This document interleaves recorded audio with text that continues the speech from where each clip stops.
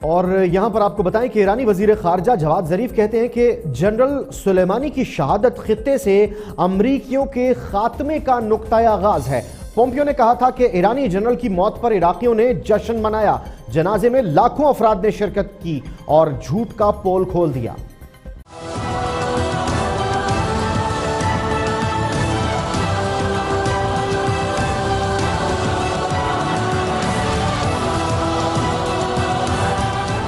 ایرانی پاسداران انقلاب کی القدس فورس کے سربراہ major general Qasem Soleimani Iraq میں امریکی راکٹ حملے میں جاں بحق ہوئے، جس پر ایران نے امریکہ سے بدلہ لینے کا اعلان کیا ہے۔ ایسے میں ایرانی وزیر خارجہ نے رد عمل دیتے ہوئے کہا تھا کہ جنرل سلیمانی پر حملہ کر کے امریکہ نے عالمی دہشت گردی کی ہے۔ امریکہ نے انتہائی خطرناک اور بے وقوفانہ اقدام اٹھایا ہے، جس کی قیمت انہیں چکانی پڑے گی۔